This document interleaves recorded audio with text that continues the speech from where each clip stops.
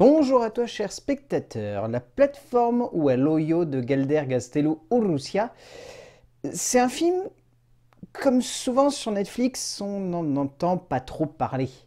On le découvre un peu sur le tard, au dernier moment. Celui-là, de manière un peu différente, en fait, il a fait un petit tour du monde parce qu'il est quand même passé par pas mal de festivals de films fantastiques, du TIFF euh, au BIF, au PIF, je crois aussi. Et à chaque fois, les gens étaient vraiment très emballés. Et en plus de ça, le film avait l'air d'être un peu dans la pure veine de Cube. Donc, vous m'alignez ça, un pitch accrocheur et le fait que le film ait certainement une belle gueule au vu de la bande-annonce, eh ben j'ai très envie de le voir moi. Le résumé pour faire simple, Goreng est un homme qui a décidé spontanément de devenir le cobaye d'une expérience étrange mise en pratique par l'État espagnol. Au cœur d'un immense centre, il va se retrouver enfermé sans savoir réellement ce qu'il doit y faire. Le long métrage que nous offre le cinéaste espagnol est très intéressant. Vraiment très intéressant. Je le trouve maîtrisé, intelligent, très juste dans ce qu'il cherche à explorer, dans ce qu'il cherche à traiter, dans ce qu'il cherche à mettre en avant. Et c'est un film qui a une vraie ambiance. Vraiment, c'est le genre de film devant lequel on est totalement captivé et dans lequel on va vraiment s'investir parce que il y a tout qui nous pousse à nous plonger dans ce cadre et à se dire, ok, qu'est-ce qui va se passer à la fin?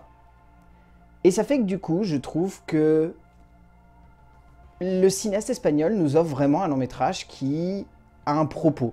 Ça, c'est le point que j'ai envie de plus se faire ressortir, c'est que on sent du début à la fin que le cinéaste a envie de traiter de quelque chose de réel, au travers d'un pitch de fiction et d'un univers très SF.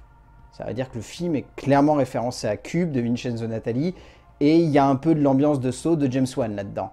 Et ça se ressent de scène en scène, au fil de l'évolution du récit et de la forme que prend le, long métrage. On sent que le cinéaste espagnol, il a envie de enfermer le spectateur autant que son personnage central. Et il fait ça en parlant de choses réelles, comme la pauvreté, euh, la lutte des classes, euh, le fait que le pays soit parfois dans une difficulté économique qui le pousse à utiliser des décisions très radicales, quitte à privilégier les riches et à laisser les pauvres crever derrière. C'est un film qui parle avec beaucoup de justesse de qu'est-ce qui se passerait si on donnait beaucoup trop à ceux qui ont peu. Comme souvent, sur Netflix, où ça passe ou ça casse. On nous offre ce qui semble être sur le papier une œuvre au pitch alléchant, mais qui parfois donne simplement lieu à un métrage un peu facile, un peu grossier, un peu vide de sens, ou un peu trop conceptuel et pas assez cinématographique au fond. Comme souvent avec les films qui ont une idée à la base. Galder Gastelu Urracia nous offre ici, pour sa première réalisation longue, une œuvre vraiment intrigante et qui mise énormément là-dessus pour passionner le spectateur, et pour le coup, cela se tient réellement. Cela donne lieu à une œuvre intense, dense, juste, philosophique et particulièrement inventive et créative, comme souvent avec le cinéma espagnol d'aujourd'hui d'ailleurs. En termes d'écriture, donc c'est basé sur une histoire de David De Sola et c'est écrit par Pedro Rivero. Euh, je trouve que ce pitch est très intéressant parce que, comme je l'évoquais avant, c'est un film qui parle de beaucoup de thématiques encore actuelles. C'est un film qui choisit de traiter donc de la difficulté économique qu'ont certains pays à survivre. C'est un film qui traite de la lutte des classes, comme souvent lorsqu'on met une grande tour ou ici une espèce de centre euh, d'analyse où on met des gens à différents niveaux. Qu'est-ce qui se passerait si à ce duo on donnait beaucoup et à ceux du bas on donnait, on donnait rien? C'est encore une fois voilà tout le traitement de George Orwell, etc. C'est un film qui parle de la politique, c'est un film qui parle de la religion, c'est un film qui parle de plein plein de choses. Honnêtement, c'est typiquement le genre de film devant lequel vous allez chacun avoir votre petit point de vue, votre petit regard et votre petite envie d'interpréter tout ce qui se passe à l'écran, de dire ce film parle de ça selon moi. Peut-être que c'est un film sur la religion et sur la naissance d'un messie, peut-être que c'est plutôt un film sur euh, l'économie d'un pays et à quel point la construire en pyramide, c'est finalement la laisser s'effondrer au bout d'un moment parce que le premier bloc qui tombera entraînera tous les autres dans sa chute. C'est un film qui peut parler tout simplement de comment un homme va prendre conscience de dans la société dans laquelle il était, il ne voyait pas en fait tous les problèmes, euh, tous les manques d'égalité et d'équilibre qu'il peut y avoir entre chaque individu. C'est un film qui parle de tellement de choses que honnêtement on pourrait s'y perdre. Je vois des gens essayer d'analyser le film euh, c'est vraiment un film devant lequel chacun aura son interprétation, chacun aura sa manière de regarder les symboles, euh, qu'ils soient religieux ou politiques, euh, de regarder les thématiques, qu'elles soient sociétales ou économiques. Chacun aura son petit droit de regard, parce qu'on sent que Rivero, il a voulu absolument, dans son histoire, concevoir un récit qui ne soit pas anecdotique, qui ait une forme simple, un pitch simple, mais qui jamais au fur et à mesure de son évolution ne sonne comme simple. Comme si, même lorsqu'on arrive à la fin, même s'il y a une forme de frustration, on a quand même envie de revenir en arrière et de se dire le premier acte parle de ça, le deuxième acte parle de ça et le troisième acte parle de ça. Et en plus de ça, je trouve que le film, sans vous en dévoiler les travers et les ressorts, a une manière de concevoir sa dramaturgie qui consiste à créer constamment des petits renouvellements. Et ça, c'est peut-être la plus grande qualité qu'a l'écriture du long métrage, je trouve. Rivero cherche le plus possible à construire une œuvre qui joue sur le mystère dans la pure veine d'un cube ou d'un seau, questionnant ainsi non pas simplement la situation dans laquelle le spectateur se trouve avec le personnage, mais également ce qu'il va choisir d'en tirer en termes d'interprétation et de réflexion sociétale ou économique. Mais avant tout, il s'agit d'un scénario et d'une écriture basée entièrement sur ce que l'on pense de l'homme, sur ce que l'on choisit de voir et d'interpréter en lui, et c'est en cela que Rivero réussit à construire bien plus qu'un simple petit script sur un pitch alléchant, mais réellement une œuvre se basant sur ce que l'homme pourrait, devrait et est tout simplement aujourd'hui.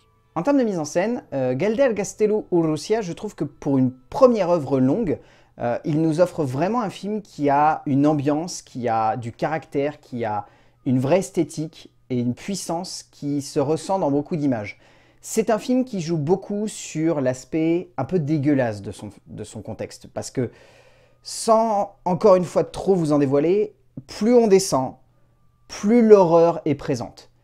Et plus l'horreur est présente, plus le spectateur se sent mal.